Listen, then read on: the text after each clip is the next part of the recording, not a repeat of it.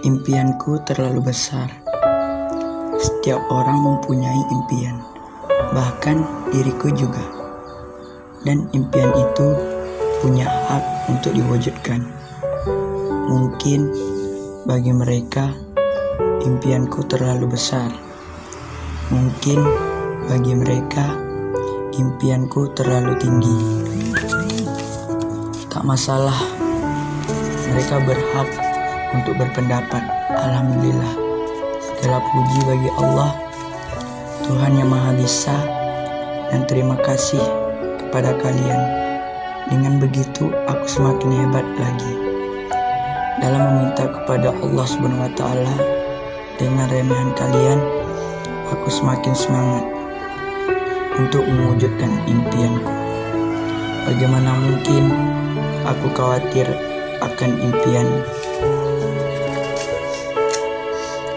sedangkan impian adalah bisikan dari Allah yang percaya akan kemampuan kita.